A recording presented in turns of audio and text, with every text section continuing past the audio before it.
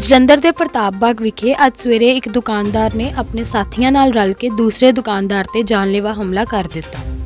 ਇਸ ਘਟਨਾ ਵਿੱਚ ਦੁਕਾਨਦਾਰ ਬੁਰੀ ਤਰ੍ਹਾਂ ਜ਼ਖਮੀ ਹੋ ਗਿਆ ਜਿਸ ਨੂੰ ਫੌਰਨ ਨਜ਼ਦੀਕੀ ਹਸਪਤਾਲ ਵਿੱਚ ਲਿਜਾਇਆ ਗਿਆ। ਜਿੱਥੇ ਜ਼ਖਮੀ ਦੁਕਾਨਦਾਰ ਦੀ ਮੌਤ ਹੋ ਗਈ ਫਿਲਹਾਲ ਪੁਲਿਸ ਇਸ ਪੂਰੇ ਮਾਮਲੇ ਦੀ ਜਾਂਚ ਕਰ ਰਹੀ ਹੈ।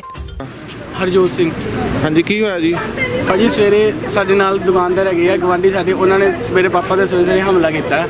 ਤੇ ਇਹਨਾਂ ਨੇ ਸਿਰ ਦੇ ਉੱਤੇ ਰਾਡਾਂ ਵਗੈਰਾ ਮਾਰੀਆਂ, ਕਾਫੀ ਕੁਝ ਸਾਨੂੰ ਨਹੀਂ ਪਤਾ। ਉੱਥੇ ਲੋਹੇ ਦੀ ਰਾਡ ਵੀ ਪਈ ਇਹਨਾਂ ਨੇ ਤੰਦੂਰ ਦੇ ਵਿੱਚੋਂ ਲੱਕੜਾਂ ਕੱਢ ਕੱਢ ਕੇ ਡੈਡੀ ਸਿਰ ਤੇ ਮਾਰੀਆਂ, ਉਹ ਇੱਕਦਮ ਹੀ ਡਿੱਗ ਗਏ ਜ਼ਮੀਨ ਤੇ। ਕੀ ਨਾਮ ਕੀ ਆ ਉਹਨਾਂ ਦਾ? ਉਹਨਾਂ ਦੇ ਭੱਲਾ ਸਾਈਕਲ ਵਾਲੇ ਆ ਪਰ ਅਸੀਂ ਇਹਨਾਂ ਨੂੰ ਭੱਲਾ ਸਾਈਕਲ ਤੇ ਜਾਣਦੇ ਆ। ਅਸੀਂ ਉਹਨਾਂ ਨੇ ਭੱਲਾ ਹੀ ਲਿਖਾਇਆ ਮੈਂ ਆਪਣੇ ਫੋਨ 'ਚ ਸੇਵ ਕੀਤਾ ਭੱਲਾ ਹੀ ਤੋਂ ਜਾਣਦਾ ਮੈਂ। ਕਿੰਨੇ ਜਣਿਆਂ ਨੇ ਹਮਲਾ ਕੀਤਾ ਤੁਹਾਡੇ ਤੇ ਜੀ? ਦੋ ਜਣੇ ਸੀਗੇ ਬਾਕੀ ਤਿੰਨ ਚਾਰ ਬੰਦੇ ਹੋਰ ਸੀਗੇ ਨਾਲ ਦੋ ਜਣੇ ਆਪ ਸੀਗੇ ਤਿੰਨ ਚਾਰ ਬੰਦੇ ਨਾਲ ਹੋਰ ਸੀਗੇ। ਇਹ- ਨਾਮ ਪਤਾ ਹਮਲਾ ਕਰਨ ਵਾਲਿਆਂ ਦਾ? ਹਮਲਾ ਜਿਹੜਾ ਕੀਤਾ ਉਹ ਤਾਂ ਮੇਨ ਹੈਗੇ ਜਿਹੜੇ ਨਾਲ ਦੇ ਗਵਾਂਢੀ ਬਾਕੀ ਜਿਹੜੇ ਤਿੰਨ ਬੰਦੇ ਉਹ ਨਹੀਂ ਸਾਨੂੰ ਪਤਾ ਉਹ ਬਾਹਰਲੇ ਬੰਦੇ ਸੀਗੇ। ਇਹਨਾਂ ਬੁਲਾਏ ਨਾਮ ਪਤਾ ਉਹਨਾਂ ਦਾ। ਉਹਨਾਂ ਦਾ ਨਾਮ ਨਹੀਂ ਮੈਨੂੰ ਪਤਾ। ਇਹ ਝਗੜਾ ਹੋਇਆ ਕਿੱਥੇ ਕਰਕੇ ਤੁਹਾਡਾ? ਝਗੜਾ ਸਾਡੀ ਦੁਕਾਨ ਦੇ ਬਿਜਲੀ ਘਰ ਦੇ ਬਿਲਕੁਲ ਸਾਹਮਣੇ। ਸਾਡੀ ਪ੍ਰਤਾਪ ਆਪਣੀ ਬਾਗ ਨਾਲ ਦੇ ਕੋਲ? ਦੁਕਾਨ ਤੇ। ਹਾਂਜੀ ਪ੍ਰਤਾਪ ਬਾਗ ਦੇ ਕੋਲ। ਝਗੜੇ ਦਾ ਕਾਰਨ ਕੀ ਸੀ? ਝਗੜੇ ਦੇ ਕਾਰਨ ਕੁਝ ਨਹੀਂ।